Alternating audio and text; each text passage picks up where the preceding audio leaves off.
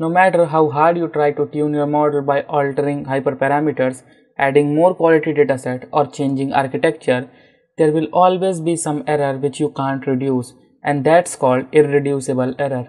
And the error which you minimize by training is called reducible error.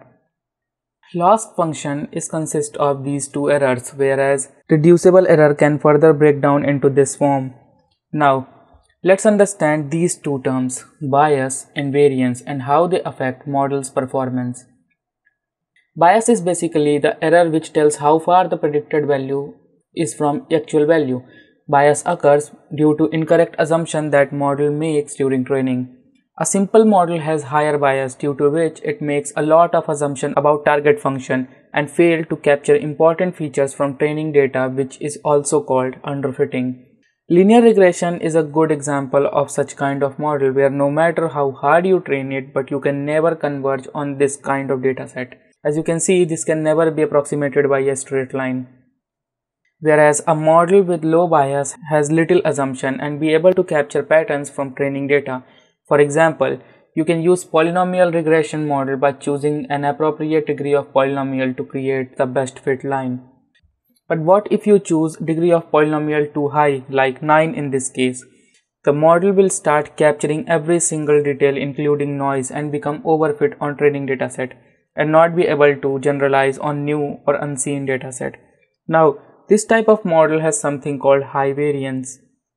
Variance is something which indicates how sensitive and consistent your model is with respect to change in dataset.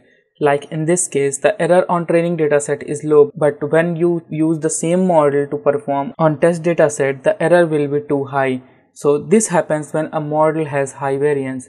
But if you tune the degree of polynomial again a little bit, then you can have a model with low variance. Now, as far as we saw, a model with high bias makes very simplistic assumption and unfits the data, whereas a model with high variance capture noise and overfits the data.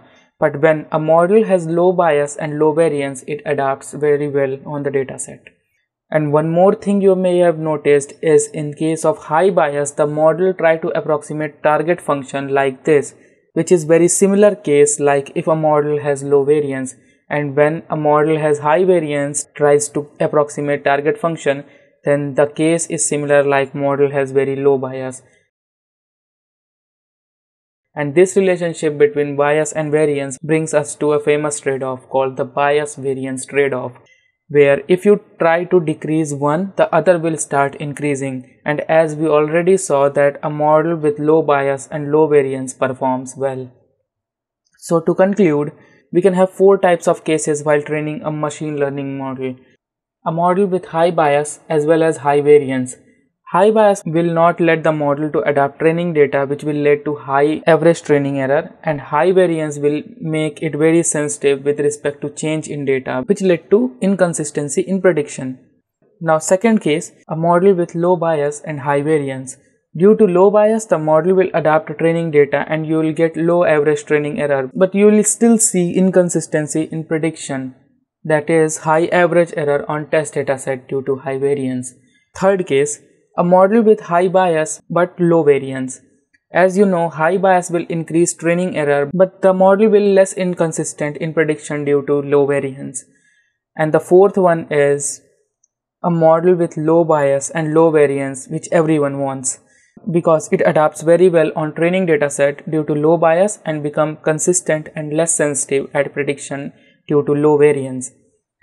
And this is very famous bullseye visualization of bias variance trade-off. And the best part you say you can actually calculate how much bias and variance your model has. So let's see that in code. For this, install MLXtend through PIP. Import bias variance decomposition, your favorite classifier or regressor your data set and a function to split the data into training or test set. Load the data set, split it and load your model. Now bias variance decomposition will return loss, average bias and average variance by taking model, training data and test data as a parameter.